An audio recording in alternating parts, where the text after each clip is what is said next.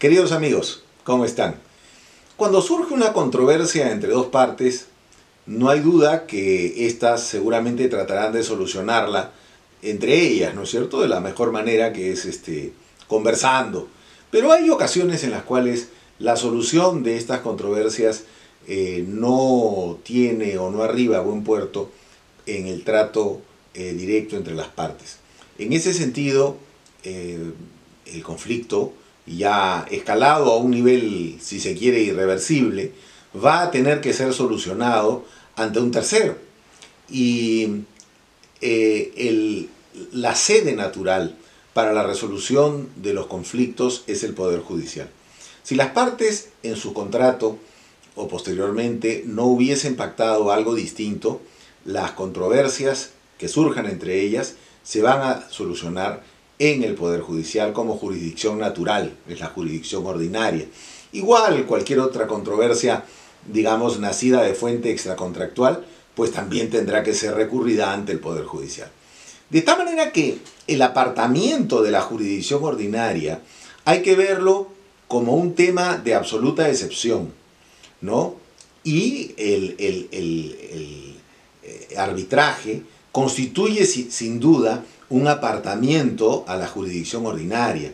Pero para apartarse de la jurisdicción ordinaria las partes tienen que celebrar lo que se conoce como convenio arbitral y que antiguamente se conocía y también se suele denominar con el nombre de cláusula arbitral. Cláusula, convenio, generalmente, aunque no siempre, pero generalmente eh, están contenidos en los contratos o en el contrato que celebran las partes y ahí se establece que la solución de determinadas controversias se dilucidará en arbitraje.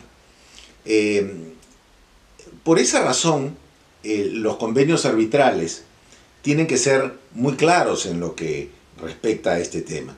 Eh, lo normal, lo habitual es que los convenios arbitrales consten por escrito, consten por escrito, no obstante lo cual el artículo 13 de la ley de arbitraje otorga una serie de, posibilidades eh, para que se considere la existencia de un convenio arbitral.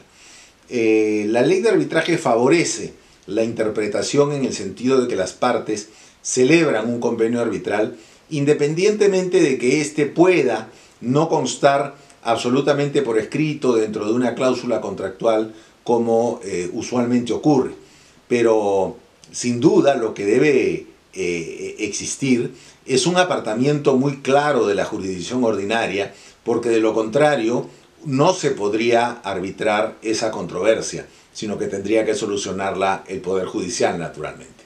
Sobre esto volveremos. Gracias.